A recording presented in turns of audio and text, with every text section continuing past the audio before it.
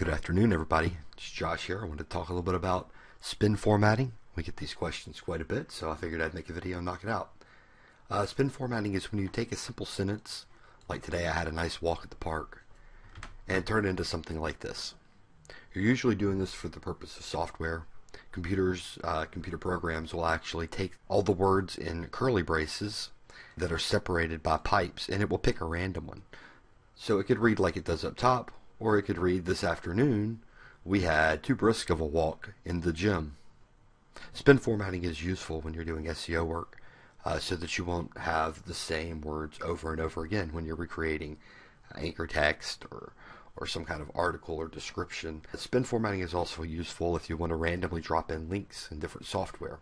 So how to get from here to there, I've got a simple search up here for EzineArticles and looking around at rental foreclosure. We'll uh, pick an article here.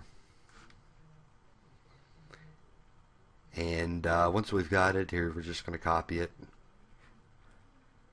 and now that we've got the paragraph or the article copied that we want to turn around and take and make spin formatted, there's a couple ways we can do this. The first one I'm going to do here is with the Word AI, one of my favorite uh, software. Uh, essentially, you just go in, paste your article. I choose to use the Turing spinner. So we'll just pick a regular spin format. Word AI takes a second to get finished up here, so I'm going to go ahead and copy this article again and go in and make the same spin with the best spinner.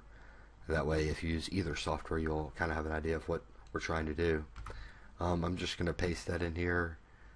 Choose auto select synonyms. And I like to use the default. And once you've got that, you can see it. The best spinner has turned around and taken that simple little article and made a complex spin. What you've got here is a spin format that can be used by software programs when they unspin this. It will come up with hundreds of unique uh, articles that are basically talking about the same thing. Hopefully unique enough we're not going to trip off any filters in Google or other search engines. Uh, back over here to Word AI. Alright, we've got what we need here. Well, this is as far as we're going to go with spin formatting. This should be the finished output that you get.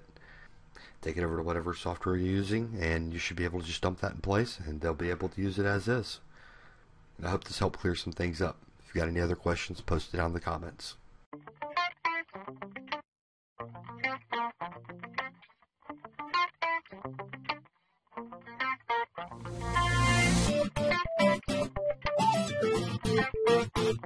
Thank you.